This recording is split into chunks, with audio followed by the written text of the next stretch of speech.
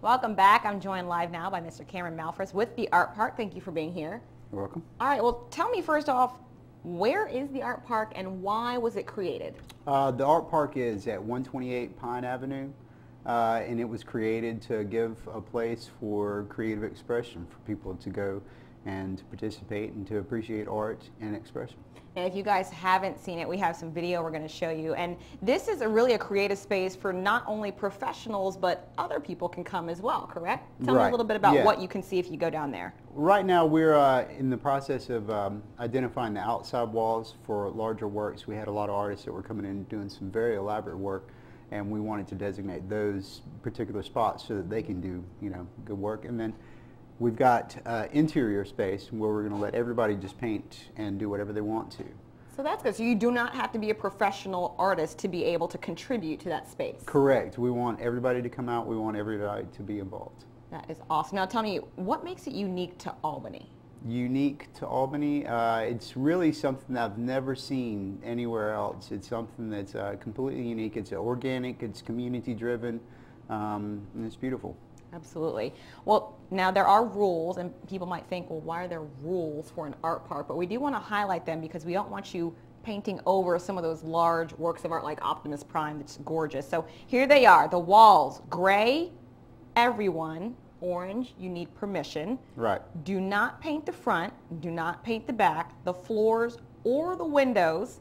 Pick up after yourself and please do not run or climb the walls. Tell me why those rules are so important to obey, especially where you can and cannot create art. Well, we, we ran into an issue with uh, some of the work, you know, like I said, some of the artists that were doing some very elaborate works. Um, and we had some guidelines, you know, in which we were asking people that if they were going to paint over something, we understand that everything is going to be painted over eventually, but if they're going to, we want them to do uh, equal or better effort. You know, they, you know, just don't cover it up with something that's, you know, less.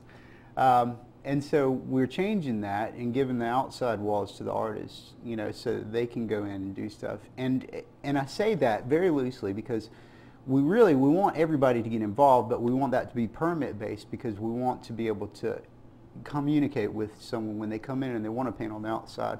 We want to be able to say, you know, here's, you know, this is the ground rules. You know, if you're going to paint over something, we, we know that that's going to happen, but we want you to take into consideration the size of the piece that you're going to paint over um, and the effort they put into it. And the quality, and Right. it's just a basic respect. Right, right. Absolutely. Now, there have been some events like the um, the color run kicked off at Mm-hmm. the art park. Are there going to be more events? Can people book a wedding reception there or have a party there? Yeah, so we do have a, we have a rental program. Uh, you can contact the downtown manager's office or you can contact us at uh, info at artparkonpine.com and find out more information or just connect with us on Facebook. Okay. And I have to ask about kids because kids are always, you know, Mm-hmm. wanting to be artistic. And what about kids? Are they allowed to come and do Absolutely. stuff too? Yeah, we love for kids to come in there. Great. Absolutely. Is there anything else you would like to add about the art park for any of our viewers watching Um, home? our park, we're having a graffiti barbecue, you know, to the events we were having. We're Mm-hmm. having a graffiti barbecue uh, Saturday. It's going to kick off about 4 o'clock. Uh, it's hosted by the Catalyst and by Detailed Arts Coalition. Uh, our sponsors are Phil Cannon and Associates, um, DanielTitus.com, Mm-hmm. Darton College, uh, and then 340 Creative Group is going to be providing the uh, music. Uh, they're bringing a DJ down from Columbus, and we're going to have breakdancing, Flavor Emotions going to be there. All it's right. going to be a great time. So if you guys haven't had a chance to get it, you can go to this event. You can see it, smell it, hear it, dance to it, and even maybe contribute a little art. Well, thank you so much for being here. Absolutely. I certainly appreciate it, and I hope you. you. guys all get a chance to visit the downtown art park on Pine.